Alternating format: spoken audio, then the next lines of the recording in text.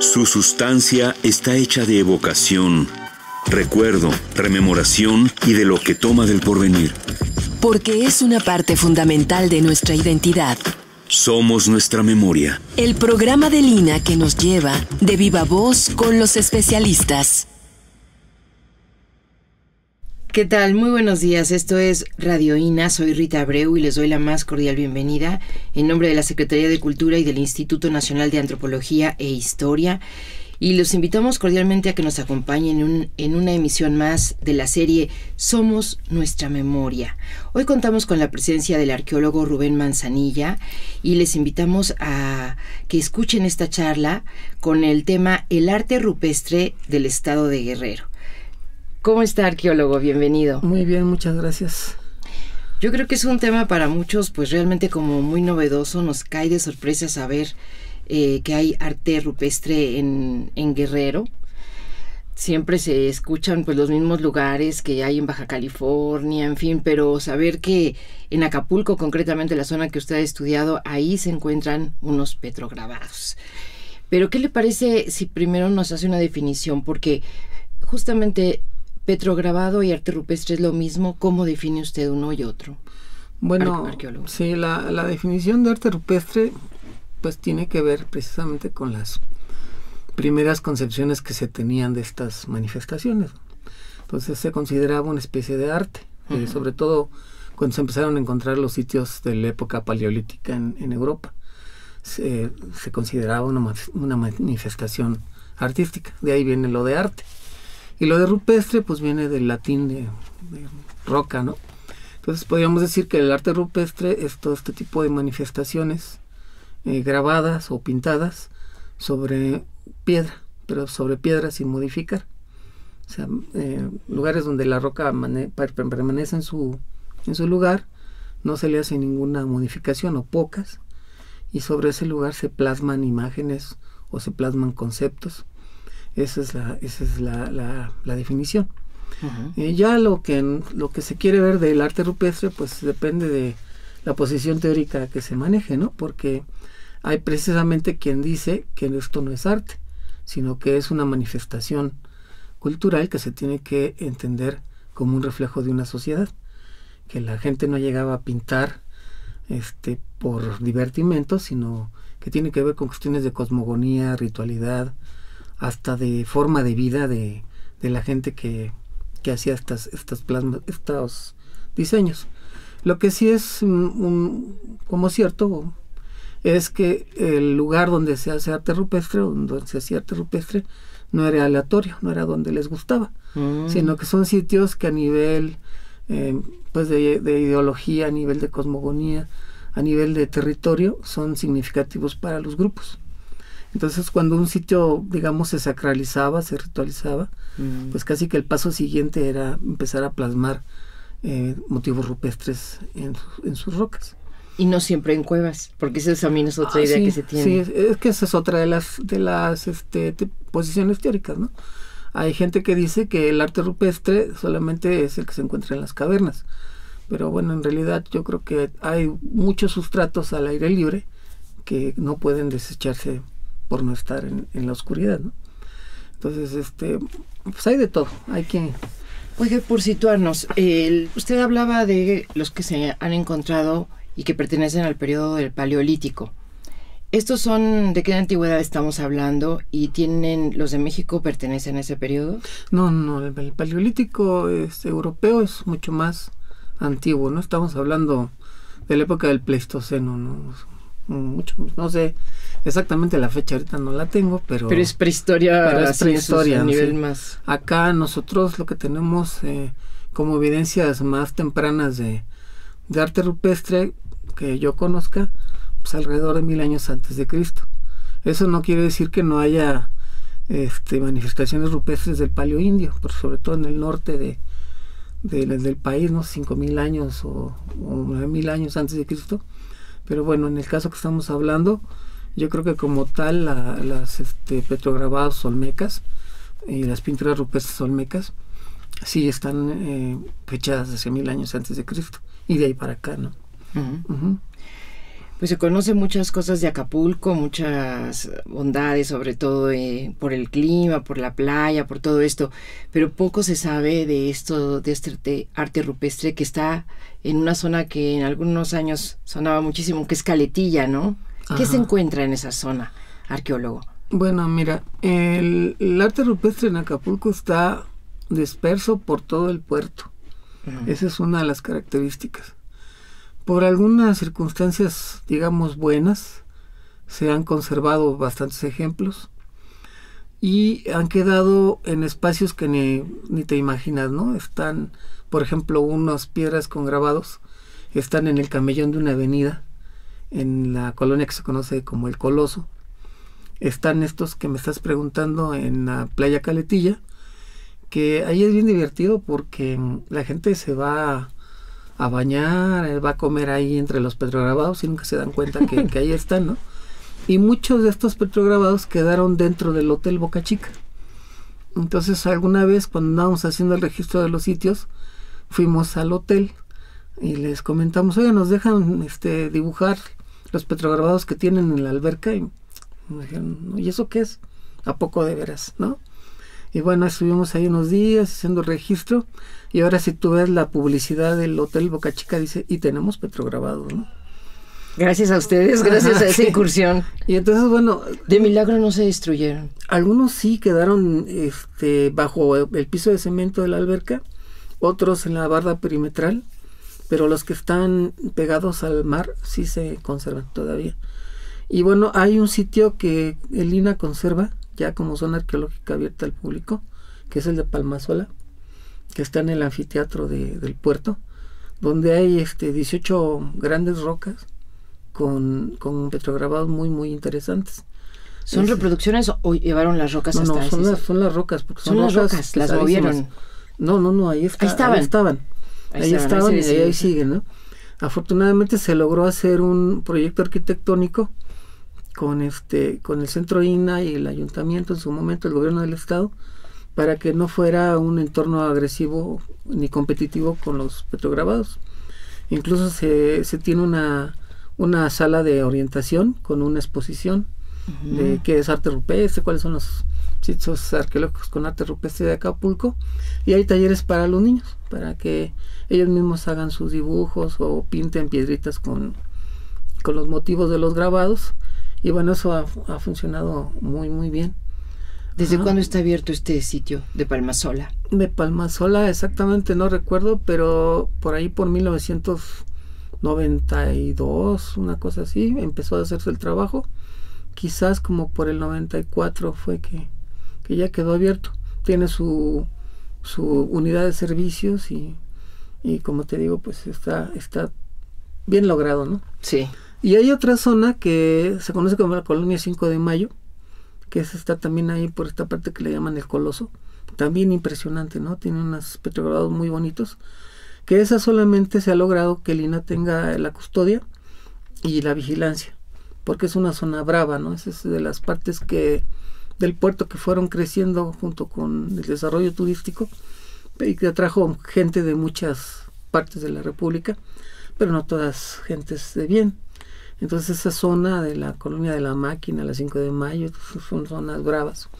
Entonces, y ahí el INA pues está casi como heroicamente custodiando ese sitio arqueológico, ¿no? Se tiene un custodio, se tiene una caseta de vigilancia, se tiene cercada la zona y el centro de INA siempre está al pendiente, ¿no? De, de, lo que pasa. pero esa zona sí es un poquito menos eh, fácil de acceder por cuestiones de, del rumbo, ¿no? Y hay otros, otros petrogrados también en la parte del Coloso que quedaron unos en un estacionamiento. O sea, tú te estacionas y en medio del estacionamiento está una piedra con petrograbados que no la quitaron porque estaba muy pesada, ¿no? Y hay otros que quedaron enfrente de un jardín de niños. Entonces también y unos muy, muy, muy interesantes, ¿no? Me imagino son diferentes, cada sitio son motivos diferentes, qué formas se encuentran, cómo son Platíquenos, arqueólogo. Bueno, eso es un poquito lo que platicábamos, que los petrograbados o las pinturas rupestres, una de las cosas que nos permiten ver, a veces no de manera directa, es la forma de vida de la gente. y las creencias que tenía la gente, ¿no? Entonces, por ejemplo, si vamos por sitios, en el caso de, la, del sitio de Caletilla, de la playa Caletilla, lo que se tiene ahí es como una obsesión por contar. Hay hileras de puntos y puntos y puntos y puntos con, con rayas verticales. Entonces, este, ¿qué se contaba? Pues no se sabe, pero hay una, una interpretación de un arqueólogo que ya murió, William Brent Burray, que dice que esas líneas de puntos y, rayas eran registros de ciclos lunares. Y entonces resultó muy interesante porque él lo pudo demostrar en un sitio de, Nuevo León. se llama creo que el Cerro de la Mula. Él se puso a contar las, ahí los puntos y las rayas y se dio cuenta que cada 28 puntos había una especie como de coma, que le llama símbolo de corrección. Es como para decir, bueno, aquí se acaba un ciclo lunar y empieza otro. Entonces, bueno, ya con esa idea eh, empezamos a contar ahí en la, en la piedra que está en, en, el Hotel Boca Chica. Y eh, pues ahí no podríamos asegurarlo porque no encontramos esas marcas. Pero hay una piedra afuera, afuera del hotel, que está tirada sobre la playa, que esa sí tiene esas comas. Mm. Entonces sí es muy probable que quizá relacionado con la navegación, la gente contara ciclos de lunares para saber cuándo podía salir a mar, cuándo era el mejor momento para, no sé, para las actividades que tenían que ver con lo, con lo marítimo, ¿no? Eh, tenemos el sitio de, de la Polonia 5 de mayo, que ahí volvemos a tener otra vez esta profusión de, puntos y, rayas. Ahí también se contaba. Y ese es un sitio que, que tiene una vista impresionante de, de lo que es eh, la bahía de Acapulco, bueno, todo lo que es esta parte de, de donde inicia la Costa Chica, ¿no? De, de, de, revolcadero, todas estas zonas, ¿no? Pero ahí también empieza uno a notar la profusión de figuras humanas, que son figuras humanas muy esquematizadas, ¿no? Son caritas con tres puntitos, o sea, los ojos y la boca, ¿no? Entonces caritas pueden ser ovaladas, pueden ser redondas, pueden ser de manera como de trapezoide. Y algunas sí tienen su cuerpo, pues como los niños pintamos cuando éramos, cuando éramos chiquitos, ¿no? Que es una rayita para el cuerpo y una rayita para los brazos y otra para las piernas. Pero lo que nosotros pensamos es que es, es, la, es plasmar ciertas ceremonias que eran muy importantes y que se llevaban a cabo en este tipo de lugares. Entonces, bueno, ese tipo de representaciones de, de personas como que agarradas de la mano o, juntas, también se, se encuentra mucho en el sitio de Palmasola, que te digo que está abierto al, público. Entonces pensamos que, bueno, eran lugares a donde la gente iba a pedir favores, a donde iba a ciertas ceremonias y a donde anualmente se acudía a ciertos ritos.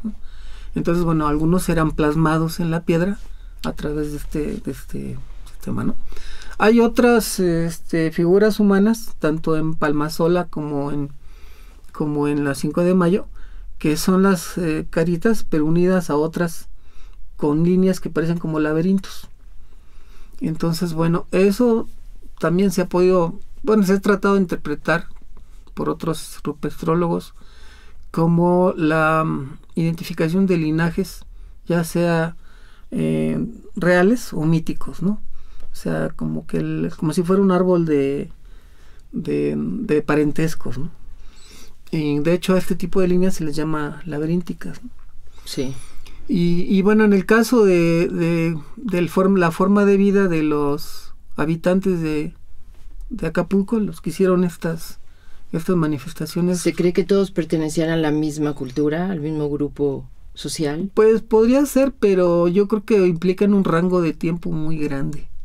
Muy muy grande entonces bueno este digamos que de la gente que vivió en Acapulco cuando menos desde mil años antes de Cristo hasta 750 después de Cristo son los que hicieron este arte rupestre en Acapulco. Es mucho claro es mucho, es mucho sí por alguna razón bueno se piensa que por cuestiones climáticas cuando los españoles llegan a Acapulco Acapulco no estaba habitado esta era una zona muy insalubre no había agua agua dulce había muchos mosquitos, fue una cosa así tremenda.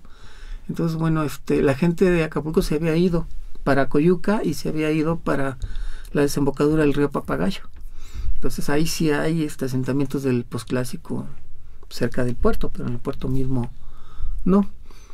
Entonces decía, en cuanto a lo que es el modo de vida, pues hay cosas tan interesantes que en la punta del cerro de la, de la colonia 5 de Mayo hay una representación de un atún, que ya supimos que es un atún.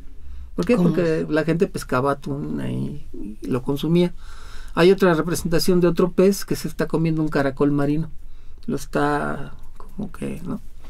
Y en el caso de, la, de Puerto Marqués, de la playa esta que se conoce como la Majagua, que ahí también hay petrograbados, hay una ballena jorobada que está saltando.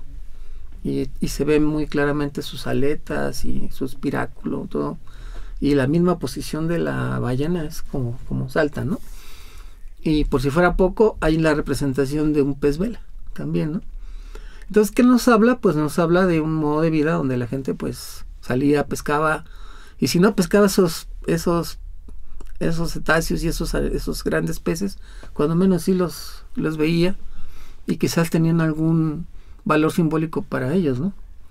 Y muy importante, muy interesante en, en la playa de, de, Puerto, eh, de la Majagua en Puerto Marqués es que entre la ballena, el pez vela, uno que también identificamos como un mero, hay un personaje que tiene un, un penacho, tiene una, una, vara, tiene una bolsa y un, un atavío muy este, elaborado.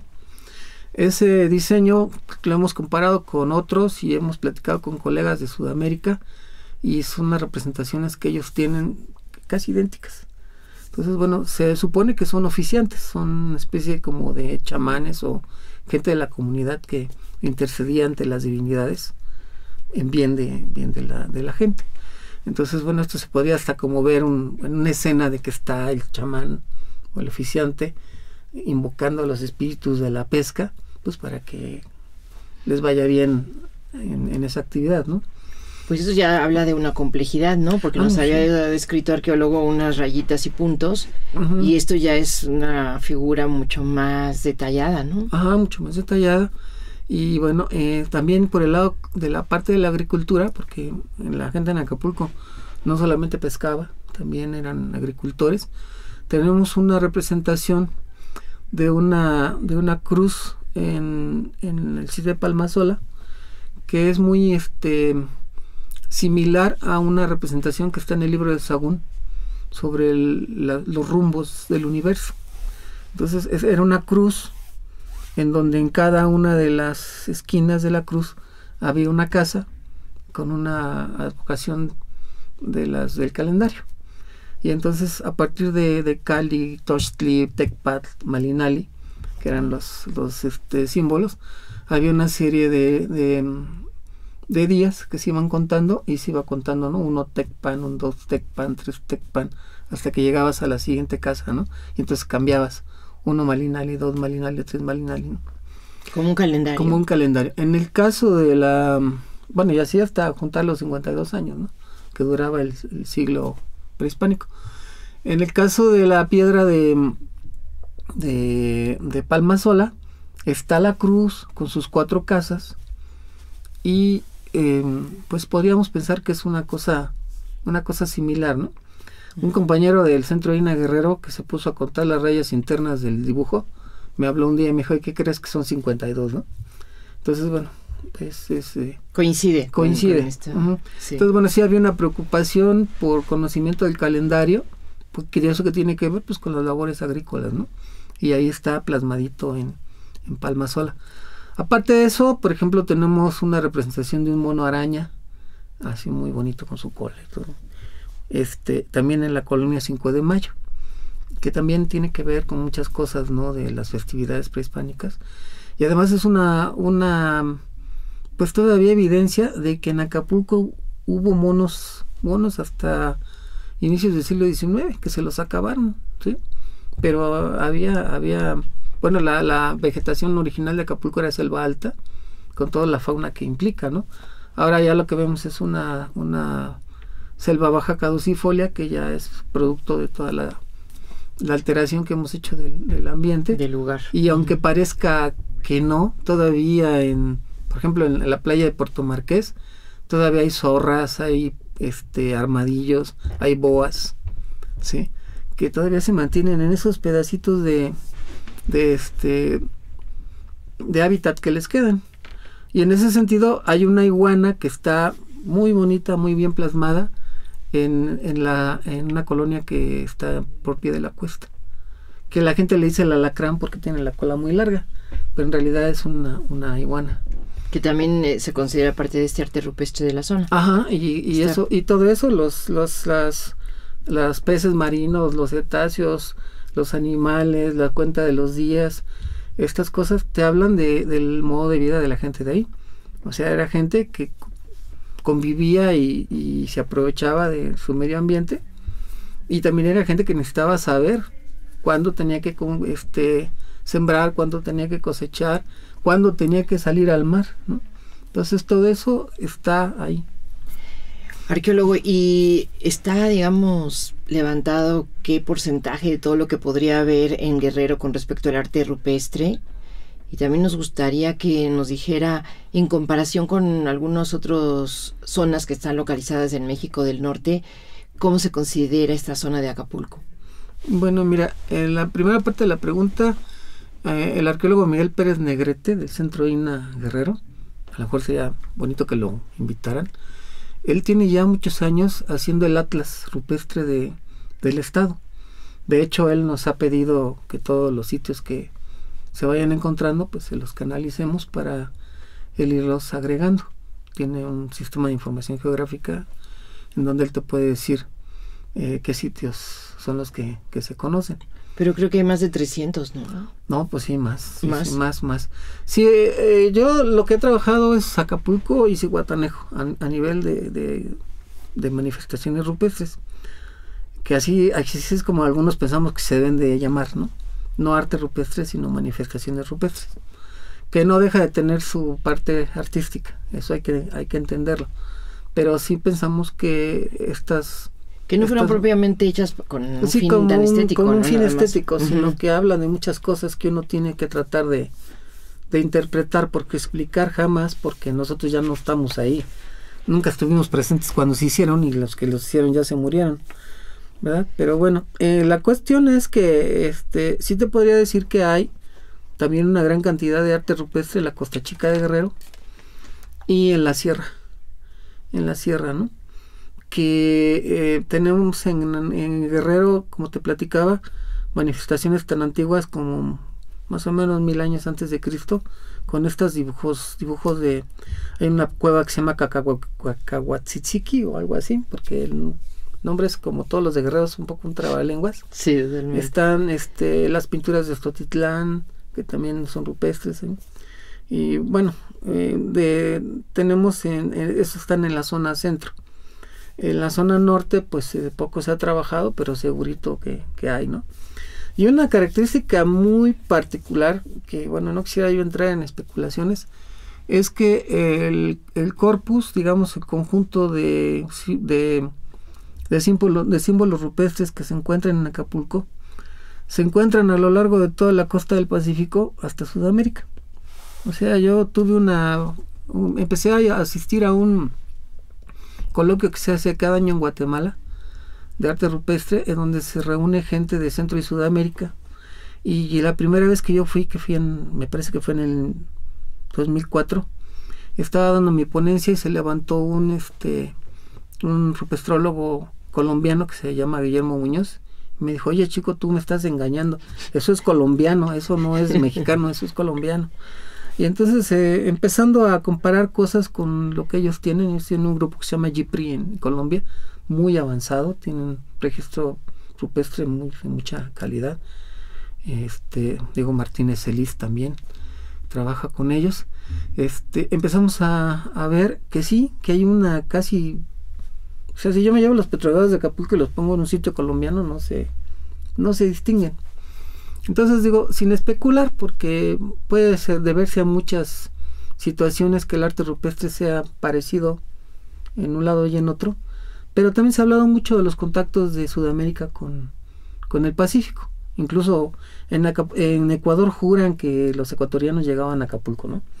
Pero bueno, si uno se fuera por el estudio del arte rupestre, esa podría marcar una, una posibilidad. ¿Eran como rutas comerciales? ¿Podría ser que hubiera un intercambio? Podría ser que fueran rutas comerciales. De hecho, por ejemplo, una nao que se le perdió a, a Cortés cuando andaban haciendo la circunnavegación fue a parar a costas de, de, Oaxaca por las corrientes de Sudamérica a Oaxaca. Ahí fue donde, donde ellos desembarcaron ya eh, sin control de la nave, ¿no? eso está escrito en las cartas de relación. Entonces, bueno, esto de las corrientes es muy, muy factible. Y también que en la costa del Pacífico, en, Guerrero, en Chihuatanejo, estas partes, eh, hay la concha espondilus. Entonces, bueno, la concha espondilus era muy preciada para la gente de, bueno, de Perú, de Ecuador. Entonces, quizás en un momento dado hubo, hubo no sé, rutas para, para el intercambio de la, del espondilus, ¿no? Pero te digo, eso ya es como en otro tema. Sí. sería como de hablar con gente que tenga que platicar de los contactos de Sudamérica. Claro, claro. Aquí estamos pensando, bueno, el caso es que se parecen, que hay un parecido. Hay un parecido, ajá. Así tan, y, relevante. relevante. Y entonces, con respecto a la segunda parte de la pregunta, es que, bueno, la, las manifestaciones rupestres, aparte de que, de que te dicen el modo de vida de la gente, también te dicen la forma de de cómo concebían el mundo. En Acapulco, por ejemplo, tenemos una representación de Tlaloc en un, en una, en una, en un petrograbado.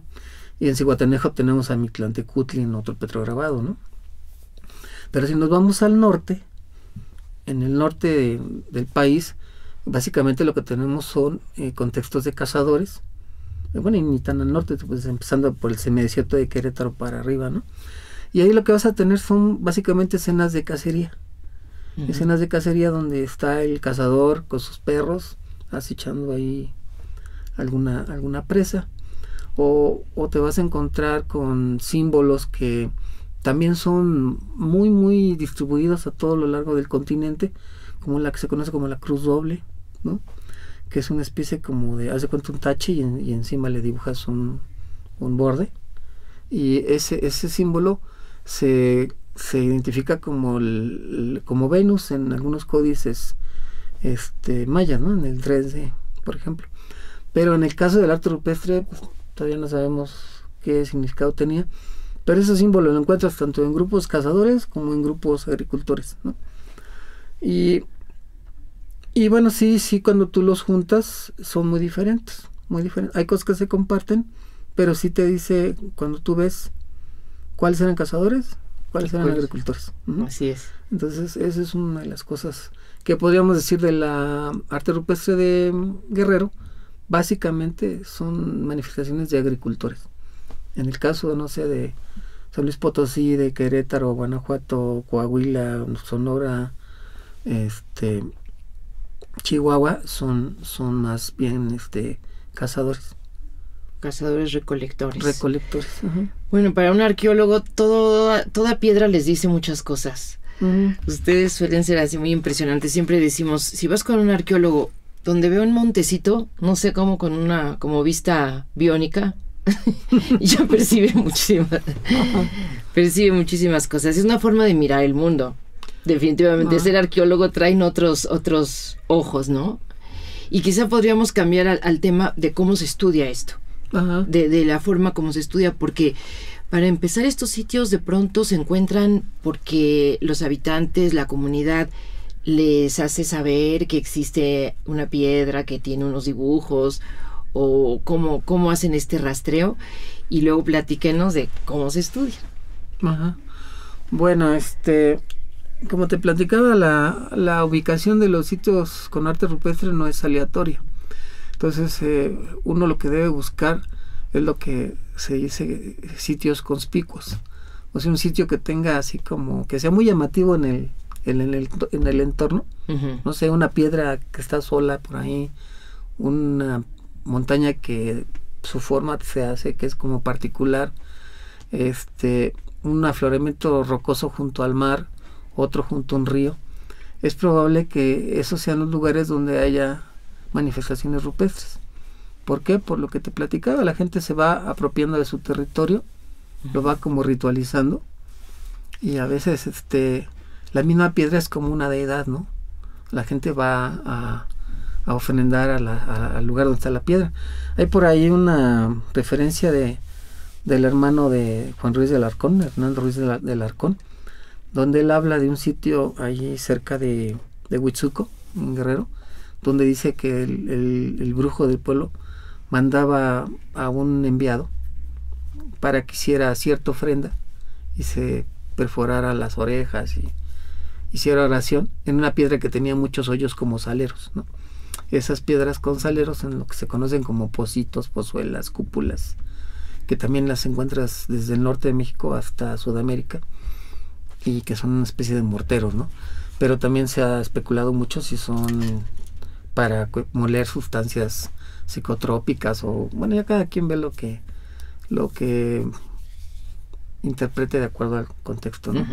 bueno sí muchos sitios también eh, los conocemos por la gente. Cuando los arqueólogos empezamos a, a trabajar eh, siempre hay quien te dice bueno pues en el cerro tal hay una, una piedra con letras no y entonces es como uno llega y se, se topa con este tipo de, de manifestaciones y este en otras ocasiones pues es accidental no por ejemplo yo estoy trabajando en un gasoducto no digo que sea casualidad porque vamos siguiendo una metodología y un trazo pero si de repente el trazo se le ocurrió al ingeniero pasarlo por tal cerro y cuando tú llegas al cerro está lleno de petrograbados no sí.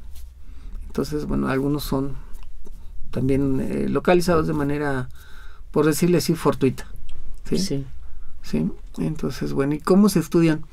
Pues eh, dicen que los arqueólogos tenemos complejo de San Juan Bautista porque todo le ponemos nombre, ¿no? Van bautizando. Ajá, entonces bueno, para estudiar el arte rupestre, pues hay como que como que desmenuzarlo, ¿no? Entonces primero empieza uno con que bueno, eh, a ver, este sitio con arte rupestre, ¿son grabados o son pinturas? Y ya de ahí ya tienes una primera este, clasificación, ¿no? Ahora, estos grabados, si son grabados, ¿cómo fueron hechos? Entonces ya empiezas a ver, hay varias técnicas. Una se le conoce como picoteado. Y es con una piedra que tenga pico, o que le hagas un pico que sea más, más este, dura que la otra piedra, empiezas a darle, a pegar, a pegar, a pegar, como si le estuvieras picando. Entonces, ese, esos diseños que solamente se quedan en ese nivel, se les puede llamar picoteado. Cuando ya el, artista o el ejecutante, como uno le quiera llamar, o el oficiante, eh, quiere tener un diseño más acabado, entonces usa otro tipo de herramienta que podríamos decir que es un cincel, que es lo mismo, es una otra piedra más dura, pero generalmente tiene la forma como en B chica, ¿no? Para tener más control. Entonces muchas, muchas hachas de piedra, muchos cinceles de piedra se fueron, se utilizaron en, en, la elaboración de arte rupestre. Y ese, ese cincelado se hace sobre el picoteado, porque tienes que tener un diseño previo para tener control de lo que estás haciendo, ¿no? Entonces, bueno, eso cuando es un cincelado se puede saber porque si uno ve el surco que deja la herramienta es en forma de B chica. Bueno, ahora, si esta persona o estas personas todavía eh, querrían que el petrogrado fuera más acabado, más elegante, entonces ya eh, viene una parte que le podríamos llamar de, pulido, que ya se usaba arena, se usaba algún tipo de, de, de agente abrasivo y sobre el cincelado se empezaba a tallar, a tallar, a tallar hasta que el surco se va haciendo redondo. Entonces a uno, uno se da cuenta que, hubo otro trabajo. Que hubo otro, trabajo, cuando ve uno la forma del, del surco, ¿no?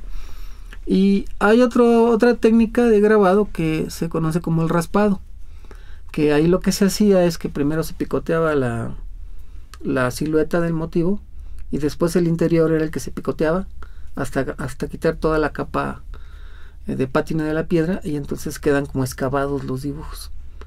Y bueno, obviamente que habrás, habrá lugares donde encuentres una mezcla de todo, ¿no? Tanto porque les, se les dio la gana, porque fueron muchos años de estar yendo a, a grabar a ese sitio porque fueron grupos diferentes, por muchas razones. Entonces a veces encuentras toda esa combinación de, técnicas, ¿no? Ya en el caso de que te vas a la pintura, pues entonces tienes que decir, em, si nomás es delineada, pues es delineada, ¿verdad? Pero si los motivos están rellenos, entonces se le conoce como tinta plana. O sea, se, delinea primero el motivo y después se pinta, ¿no? Entonces puedes tener motivos de, negro y rojo, de negro, rojo y amarillo, negro, rojo y blanco. Y puedes tener eh, diseños mixtos que sean tanto delineados nada más en parte como rellenos en, en otra parte. Y también hay la técnica que es la del negativo, que este, bueno, las más comunes son las manos al negativo que encuentras en las cuevas. Entonces, bueno, la lógica es que usaba una especie de aerógrafo para dejar la marca. Se ponía la mano y se, por decir así, se, se escupía el, el, tinte, ya fuera con la boca. O también se ha em, propuesto de que no es difícil hacer un aerógrafo con dos palitos huecos y algún recipiente, poniéndolos como en ángulo de 90 grados y con viento se logra que la, la pintura suba y después se dirija, ¿no? Entonces, bueno, no es algo difícil de hacer, pero tampoco sabemos si en época antigua alguien se le ocurrió, ¿verdad? Lo más sencillo es que se pusieran el tinte en la, la pintura en la boca y la, no sé cómo decir, no, para no decir escupir, pero bueno, se, se soplaba, ¿no? Sí. Ajá, y entonces eso deja las siluetas de las manos. A veces a los eh, a las personas que hacían estas marcas eh, doblaban un dedo, doblaban dos dedos y parecería como que a la persona le faltan le faltan dedos, ¿no? Un tiempo se pensó que, así era, pero ahora pues ya más bien algún significado tiene que tener haber doblado, los, dedos. los dedos. Claro. Sí. Entonces, bueno, son todas esas técnicas. Y ya de ahí se pasa uno a seguir metiendo en cajoncitos, ¿no? ¿Es naturalista o no es naturalista? O sea, podríamos decir, naturalista es lo que se refiere a algo que es eh, real. Como pintar el atún, como pintar. Ajá, sí, sí, como pintar una, persona, un animal. Ajá, y que no es naturalista, pues es algo que no existe en la. cuando menos físicamente. Y ahí es donde entran estos laberintos, los patrones de líneas, los geométricos, todas esas cosas que a veces no sabemos qué, qué son. Sí. Y bueno, ya pues cada, cada investigador tiene su metodología, ¿no? Hay, hay quienes este, dividen en, en realistas y no realistas, en realistas y figurativos, eh, según, según este, la, lo, lo que quieran buscar. Eh, obviamente se, eso, esas dos divisiones se pueden dividir en antropomorfos o morfos, este, bueno, con forma de vegetal, con forma de insecto, según, según lo que se tenga en el, en el corpus. Sí. Y los que son no figurativos, pues que si geométricos, que circulares, que rectangulares, que de laberínticos, etcétera. Arqueólogo, pero usted nos contaba que cuando fueron al hotel de Boca Chica en Caleta, en Caletilla, en Acapulco, pues les pidieron el permiso para hacer el dibujo, ¿no? Pero creo que esto ya no se hace o siguen haciendo dibujo o llevan las cámaras digitales o qué ha evolucionado en este sentido. Pues este sí ha evolucionado mucho porque en las épocas en que yo empecé a trabajar estas cosas era fotografía y después dibujo a, mano alzada. Entonces en el dibujo a mano alzada pues a veces había cosas que uno o no veía por la erosión de la piedra o la imaginación a uno le juega cosas. Una trampa. Una trampa y empieza uno a dibujar cosas que, que no son. También en aquella época se utilizaban las técnicas que se llamaban de frotado, que la más sencilla era este comprar pellón de ese blanco que venden en las en los mercados y comprar este carbón, carbón este o, papel carbón. Sí. Entonces se ponía el pellón sobre la piedra y se empezaba a tallar, a tallar, a tallar. Y era como cuando uno era niño en la escuela que hacía con el lápiz y un papel que abajo ponías una moneda y salía toda la figura, ¿no? Entonces, bueno, eso permitía eh, tener una idea más, este, más real de lo que estaba en las piedras. pero no siempre era tan acertado, ¿no? Eh, después en aquellas épocas también se empezó una, una práctica que después ya fue muy criticada, que era el uso de gis, gis blanco, que, que lo que se hacía era que se retocaban los, los diseños, se iban rellenando y el gis se iba adhiriendo a la piedra y entonces este, al final pues más o menos quedaban los diseños. Desgraciadamente eso pues es, nocivo para la piedra por muchas razones. Como que era una intrusión en la... Sí, sí, por ejemplo, para un tipo de fechamiento por materia orgánica, pues ya no, ¿no? Eh, también pues este podría reaccionar de alguna manera, digámoslo, alérgica con, con la piedra y, bueno, se, se, fue dejando esa práctica. Y ahora pues ya de unos años para acá eh, hay mucha tecnología digital. Entonces, bueno, para la parte de la pintura, hay una aplicación que hizo un doctor norteamericano que se llama John Harman, que digamos que es la buena onda, porque el señor diseñó la, aplicación, la subió a la red y es gratis. o sea, lo único, lo único que tiene que hacer uno es escribirle para que se le envíe y ya se puede usar, ¿no? Y eso para la pintura rupestre es una maravilla porque lo que crea son como colores falsos para las, las pinturas. Entonces una pintura roja muy deteriorada, la pudo uno ver en amarillo, en verde, en violeta y se resalta. Y esa, esa misma aplicación permite ver que, haya sobreposiciones, que, que en esa piedra pintaron más de dos veces, más de tres veces. Entonces, ¿qué hace la aplicación? Que te deja ver cómo, cómo están sobrepuestas esas, esas pinturas. Todo eso es una manipulación digital. Todo es una manipulación digital. Sí, este, y la, en el caso de la, de los petrograbados, pues sí estamos más, este, más desprotegidos, por llamarle así, porque lo que hay que usar, pues son eh, aplicaciones como Photoshop o cosas que tengan que ver con, con dibujo digital. Y lo que hace uno a veces es eh, tomar muchas fotografías de una piedra y después este empezar a jugar. La vieras a negativo, por ejemplo, ¿no? La fotografía. Y entonces algunas cosas se ven más. Y además, bueno, tienes una... Lo que está resaltado se ve hundido, ¿no? Eh, le puedes poner, eh, quitarle el color a la piedra y entonces ves otras cosas. Y también puedes estar jugando con el contraste, con el brillo y con los canales de color hasta que vas encontrando, a veces no en un solo paso, sino en varios, cómo ir reconstruyendo la, las imágenes. Y eso es lo que nos ha permitido también trabajar los petrograbados. Porque un petrograbado cuando está en buen estado de conservación es una maravilla, ¿no? Pero cuando la roca está muy erosionada o fragmentada, es, es muy problemático obtener los, los diseños. Claro, porque han estado expuestos a la intemperie por miles de años. sí, sí. ¿Y se da el caso de vandalización? Pues en Acapulco sí, o sea, al, estar los petrograbados en, el área urbana y, al suceder un, un, efecto muy curioso, que puede ser bueno y malo, la gente puede pasar por años por la misma piedra, incluso ver las figuras, pero no, no entiende qué son. ¿sí?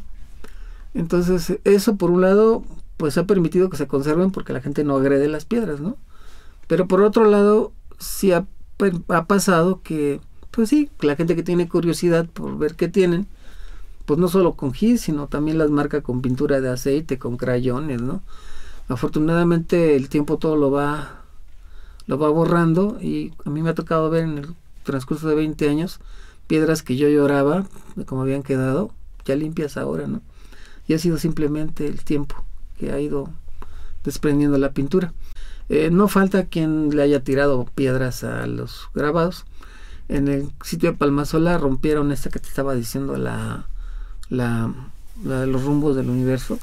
Le desprendieron un pedazo. Afortunadamente el custodio de ahí de la zona arqueológica recogió los pedazos y fueron restauradores de Lina y la, y la reintegraron. ¿no? Pero bueno, hay muchos que están, que están sin protección. Y no hemos hablado, arqueólogo, de la dimensión de, estas figuras. Todas son, por ejemplo, esta, esta cruz que, me habla de Palma Sola. ¿Es grande? ¿De qué dimensiones es? Pues mira, en, hay de todo. Tenemos este, petrograbados que han de medir como un metro por, por un tanto así, hasta unos que miden 15 metros, ¿no? O más. Y generalmente no se pueden trasladar por el peso de las rocas en las que están. De hecho, hay uno en una colonia que se llama La Mira, cerca de Mozimba, que se cayó. Pero afortunadamente se cayó con los petrogrados para, para arriba entonces pudimos hacer el registro de, los que tiene, de los motivos que tiene. Pero ahorita si tú vas, está en el patio de una casa. De hecho, la, fotografía que tomé yo para un libro que tenemos sobre los petrogrados de Acapulco eh, es esa porque tiene unos puerquitos que andan ahí alrededor de la piedra. Pues ¿qué es? Pues quedó, quedó ya dentro del patio de una casa, pero antes estaba, estaba en la parte de atrás del cerro. Se, se rodó se rodó por procesos de erosión, ¿no? Por decir, ¿qué se hace cuando sucede esto? Elina en algún momento piensa rescatar la piedra, sacarla de ese patio de doméstico, de ese patio de la casa, o qué va a pasar? Por tener una idea, ¿no? Lo que para ustedes les significa este tipo de situaciones, ¿no? Pues mira, yo creo que una situación más real para para nos para todos es el registro. Entonces, bueno, lo que nos, a mí me tocó hacer mientras estuve ahí, porque obviamente no, no, no habremos visto todos, ¿verdad? Pero sí fue hacer un registro de sitio por sitio, eh, dónde estaban los petrograbados, este, cuál era su contexto, describirlos, dibujarlos y tomarles fotografías, ¿no? Y después armar un catálogo de todo eso, pues para que se sepa dónde están. Y para que en un momento dado pueda servir un poco de, ayuda en caso de riesgo de destrucción. Te voy a poner el ejemplo que desgraciadamente no sé en qué vaya a acabar, pero en la Escuela de Ecología Marina de Acapulco hay un petrograbado muy, muy importante, es un, gran felino que en, el, lugar de, manchas tiene personas, tiene caritas. Hace cuenta que es como un jaguar y cada mancha es un personaje. Sí.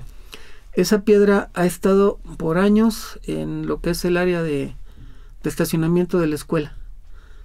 Pero recientemente, el año pasado, el propietario del, del predio de lado estaba construyendo. Entonces, bueno, yo no sé a final de cuentas esa piedra eh, en qué predio está. Si de la escuela o del vecino. Pero de que está en riesgo de que la dinamiten, sí. ¿No? Y la última vez que fuimos no nos dejaron ni entrar el dueño del predio. No nos dejó pasar. Entonces, bueno, lo que se le explicó es que esa piedra estaba protegida, que estaba registrada y este, bueno, se le enseñó el libro, mire que está la piedra, ¿no? Para que, no sé, de esa manera vea que no es tan sencillo destruirla. destruirla.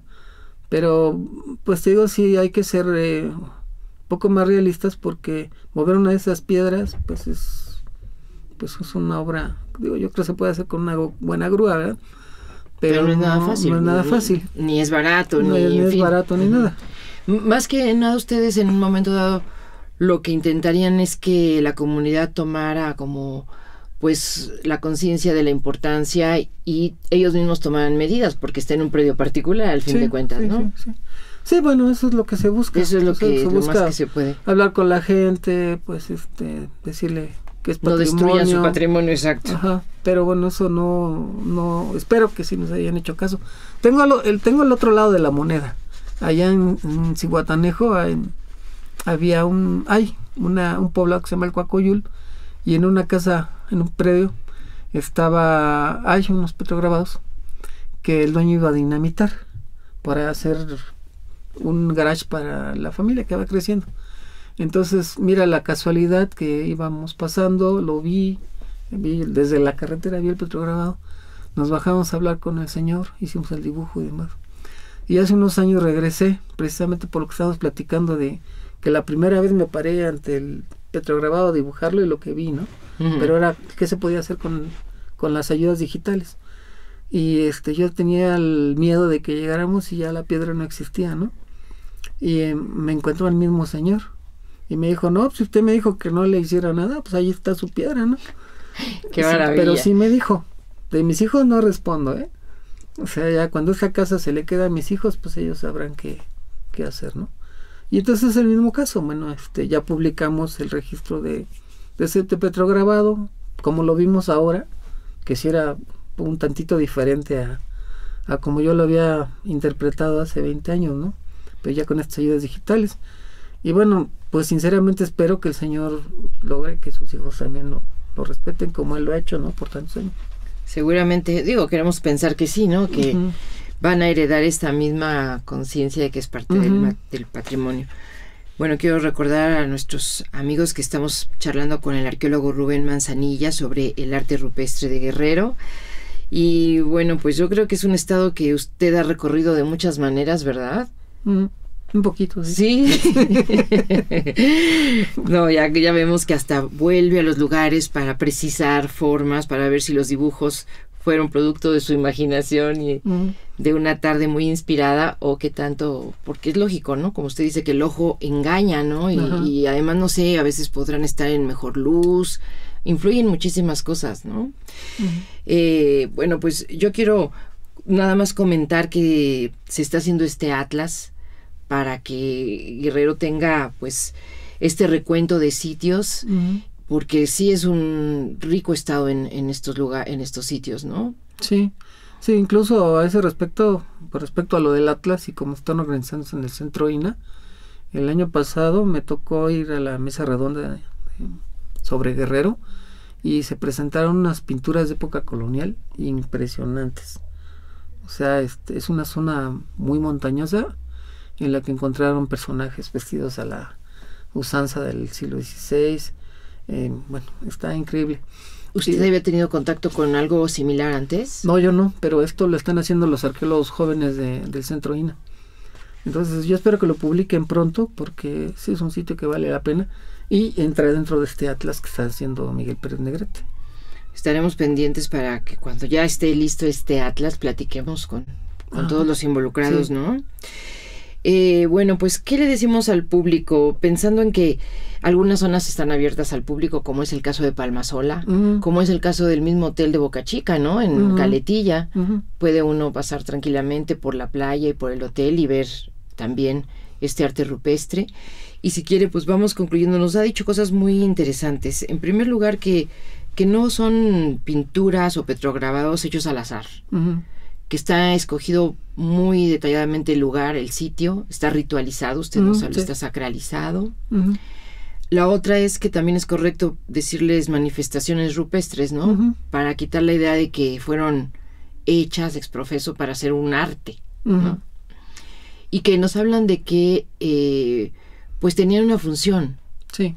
Social, se puede decir una función social social desde muchos puntos de vista, ¿no? podrían ser, por ejemplo, marcadores de, territorio.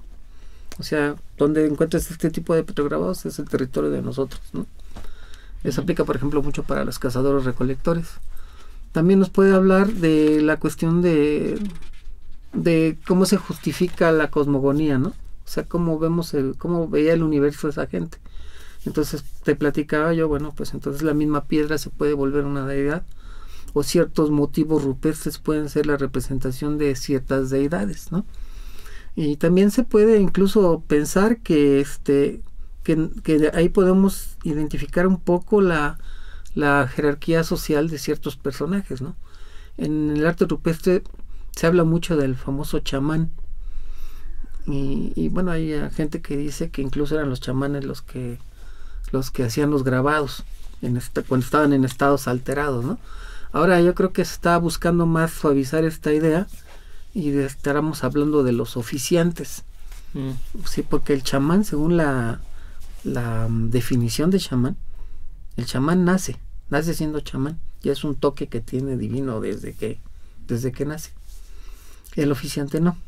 El oficiante, digamos, que va como que involucrándose en la ritualidad de la, de la misma comunidad hasta que logra cierto reconocimiento y entonces a él se le encargan la, realización de las ceremonias y los ritos, pero no nació siendo chamán. Entonces, bueno, en una panel, en un, panel rupestre, este, que se me olvidó decirte, que cada roca, sí. este, la dividimos en lo que se llaman paneles. O sea, cada panel es como que el que cuenta una historia completa. y puede ser, y una roca puede tener dos o tres paneles, ¿no? Sí. Entonces, bueno, cuando vemos un personaje de estos, pues es muy fácil decir, ah, mira, pues ese es el chamán, ¿no? ¿Qué tal que no? ¿Qué tal que es un oficiante? ¿Qué tal que es una persona importante de la comunidad? ¿Qué tal que es una divinidad que se está representando en el panel? Eso no lo podemos saber.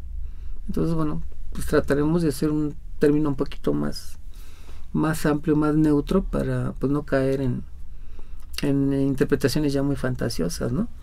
Sí, porque hay, por ejemplo, colegas en donde te dicen, no, y aquí vemos el vuelo chamánico del personaje, se desprende de su espíritu, la, tú estás viendo y dices, no, pues eso más bien parece una flor, ¿no? Entonces, este, sí es muy, es, eh, muy riesgoso a veces la interpretación, la interpretación de, del arte rupestre y esa es una de las características que tiene.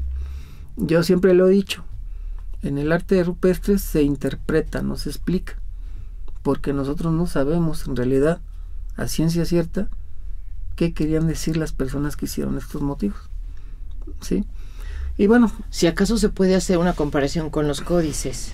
Sí, eso sí se puede. Si se encuentran algunas, como lo que ustedes nos explicaban de la, de la, doble rueda del tiempo y de la doble cruz.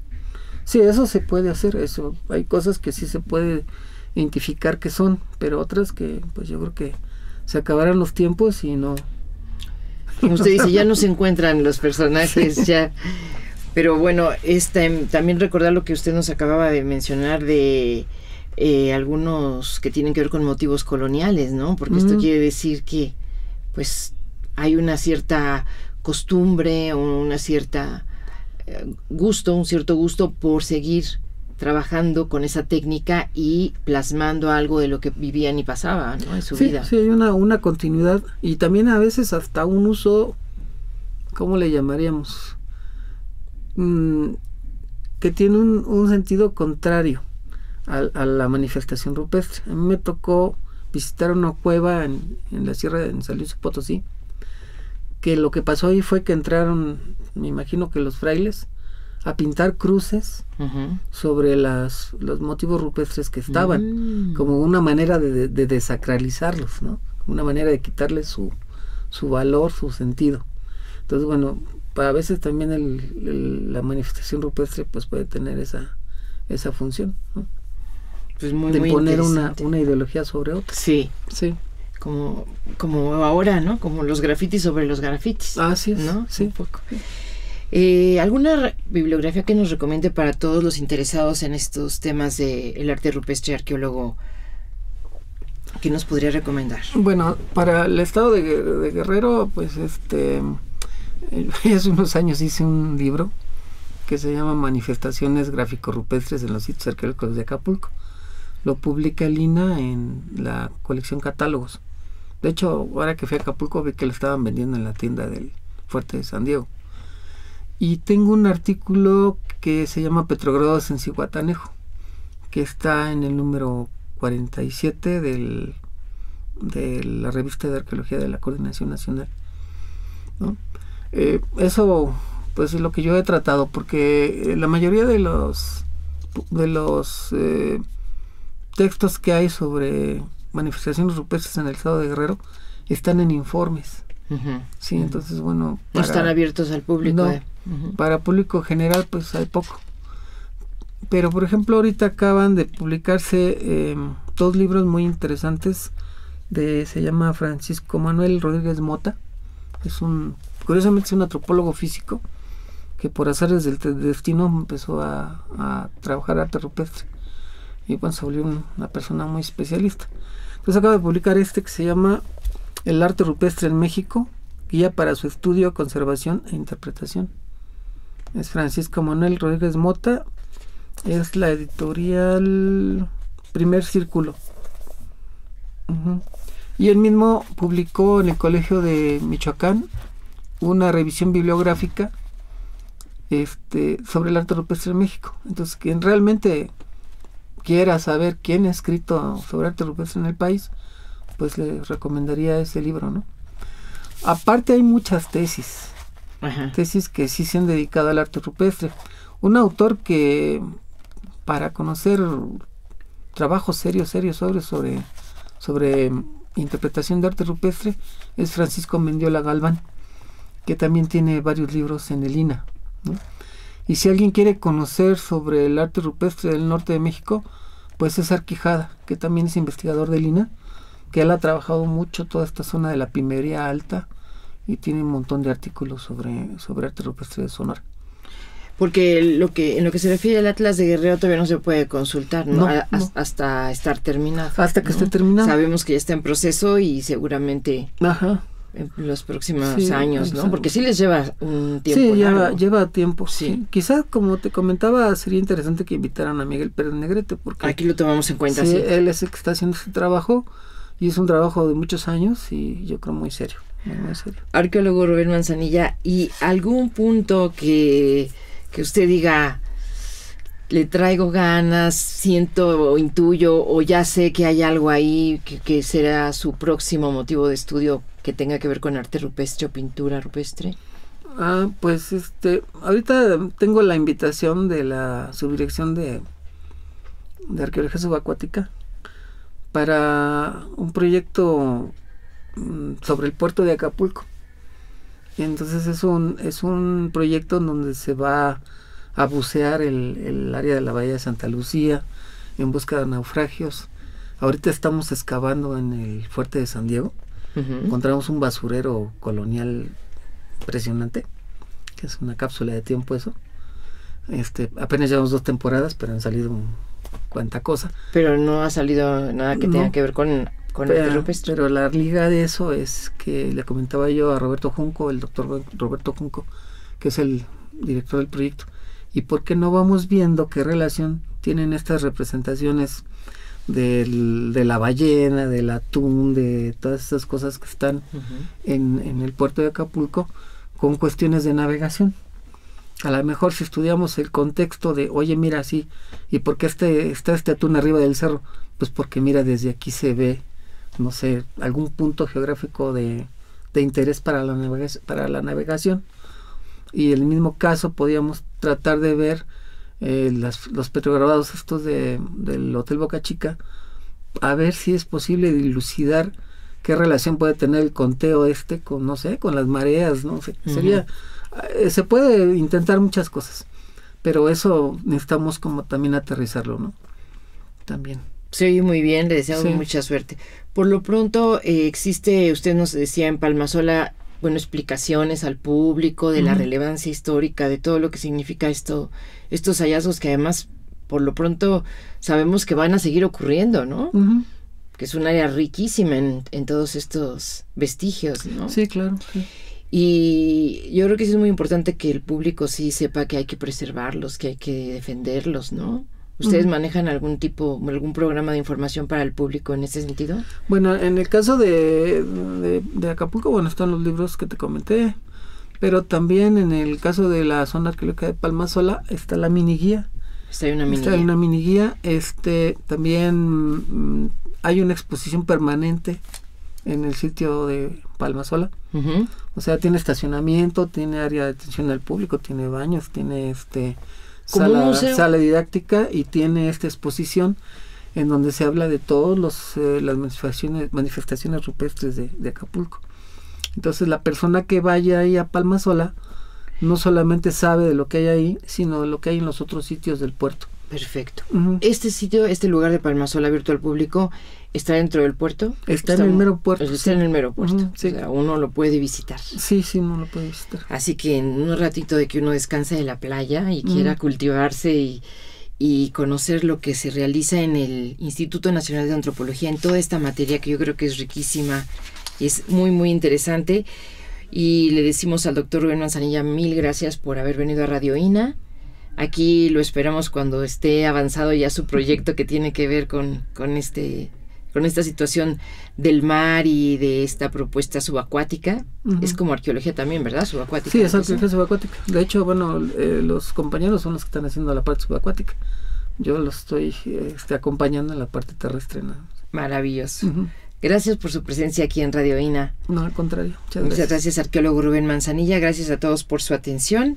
Y pues nada más nos resta desearles que pasen una muy buena tarde y decirles que nos pueden seguir a través de www.radioina.gov.mx en la realización, en la dirección de medios de comunicación a través de la subdirección de Radioina con Gabriela Marentes, en la producción Evanibaldo Morales, en los controles técnicos y edición Joel Cuautle y en nombre de todo este equipo, Rita Abreu les dice gracias y hasta la próxima.